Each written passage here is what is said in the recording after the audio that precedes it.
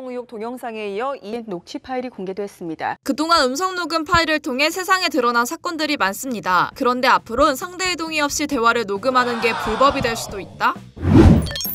일명 통화녹음 금지법. 윤상현 국민의힘 의원은 지난달 18일 통신비밀보호법 개정안을 대표 발의했습니다. 개정안은 대화에 참여하는 모두의 동의가 있을 때만 녹음이 가능하며 이를 어길 경우 최대 징역 10년, 자격정지 5년에 처하도록 했죠. 이에 대한 시민들의 생각은 어떨까요? 발의가 돼서 통과된다고 그건 개인적으로 찬성할 일이라고 생각합니다. 동의 없는 그거는 도청이나 않나? 반대 의견인 게 대부분 통화 녹취 같은 거는 피해자가 증거 체질을 위해 사용하는 건 사양이 좀 악덕 이었어가지고 노동청에 신고하려면 그런 게 있었어야 됐으니까 한 여론조사 기관에 따르면 통화녹음 금지법에 3명 중 2명은 반대하는 걸로 나타났는데요. 통화녹음 금지법은 왜 발의된 걸까요? 개정안을 발의한 의원들은 음성권을 보장하기 위해서라고 설명했습니다. 음성권을 인정해 대화 녹음을 금지하면 개인정보를 보호하고 녹취 파일이 협박 용도로 악용되는 걸 막을 수 있는데요. 반면 성범죄나 갑질 등의 범죄 증거를 확보하기 어렵다는 단점도 있죠. 특히 이번 개정안에선 공익적인 목적 등의 예외 사항이 없어 비판을 받고 있습니다. 일단 녹음들이 이루어지지 않은 경우에 입증하기 어려운 그런 케이스들이 실제로 많이 존재합니다. 두 당사 사이 내밀하게 이루어지는 문제들과 관련해서는 범죄에 대한 입증이 더 어려워질 가능성이